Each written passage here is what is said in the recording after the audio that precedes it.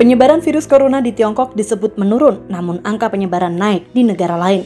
Hal ini disampaikan oleh juru bicara Kementerian Kesehatan Ahmad Yuryanto di kantor Kemenkes Jakarta Selasa sore.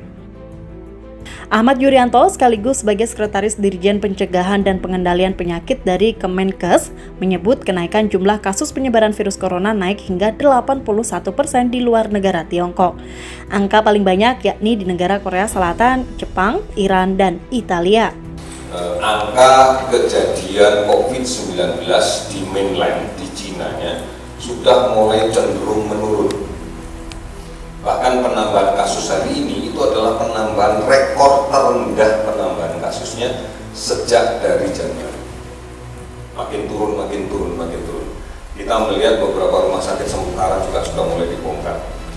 Yang sembuh semakin banyak. Kemudian angka yang menjadi sakit berat juga semakin turun. Nah, di uh, mainland tetap hampir 95 persen itu di provinsi Hubei. Yang lainnya di luar Hubei tetapi masih di eh, Tiongkok.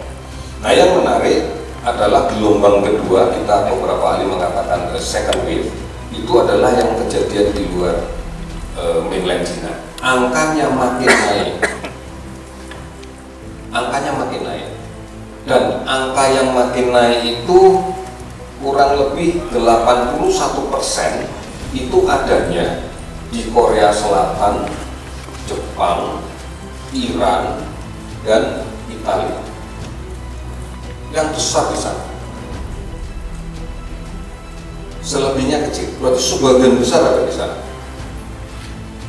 Nah kemudian di Jepang sendiri itu hampir separuh kasusnya Kemenkes terus bekerja keras menelusuri bagaimana virus corona menyesuaikan diri, karena beberapa kasus penderita virus COVID-19 tak mengalami gejala terkena corona. Disebutkan pola yang terjadi saat ini hampir mirip dengan gejala virus SARS yang menyebar tahun 2002 silam. Virus tersebut sempat menjangkiti banyak orang kemudian menghilang.